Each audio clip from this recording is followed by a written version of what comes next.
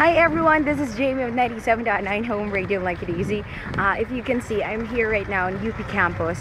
Here's the sunken garden. Ta-da! Yeah. Uh, I just went here uh, to visit my dentist. Okay, bye!